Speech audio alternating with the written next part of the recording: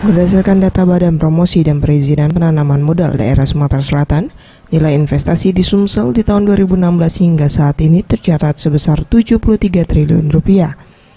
Dengan realisasi hingga bulan Oktober tahun 2016 sebesar 31 triliun rupiah, baik dari penanam modal dalam negeri maupun asing. Untuk menanam modal asing sebesar 29 triliun rupiah, Dibandingkan tahun 2015, nilai investasi di Sumsel tahun 2016 mengalami peningkatan. Tercatat tahun 2015 nilai investasi Sumsel sebesar 68 triliun rupiah. BB3MD Sumsel di tahun 2015 mengeluarkan 228 izin, sedangkan di tahun 2016 telah mengeluarkan 425 izin, terjadi peningkatan.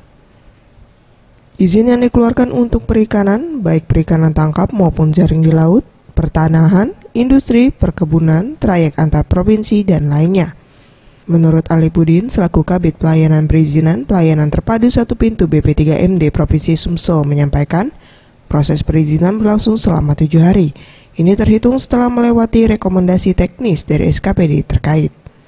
Uh, hanya realisasinya sampai saat ini, sampai bulan Oktober, itu 31 triliun cukup signifikan daripada daripada nilai yang ditanamkan 2015 sekitar 68 triliun jadi uh, meningkat tahun ini 2016 meningkat ia menambahkan pihaknya dapat menyelesaikan proses izin hanya dalam waktu satu hari.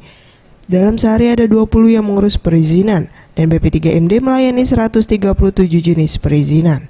Mega Dwi Handayani, Maulana Yusuf, Sriwijaya TV.